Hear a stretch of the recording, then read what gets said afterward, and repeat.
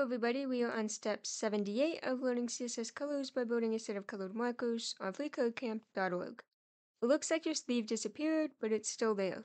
Your new cap div is taking up the entire width and pushing the sleeve down to the next line. This is because the default display property for div elements is block. When two blocks are next to each other, they stack like actual blocks. To position two div elements on the same line, just set their display properties to inline block. So we're going to put cap and sleeve. We're going to set their display to inline block like that. And that's it for this video. Thanks for watching and I'll see you next time.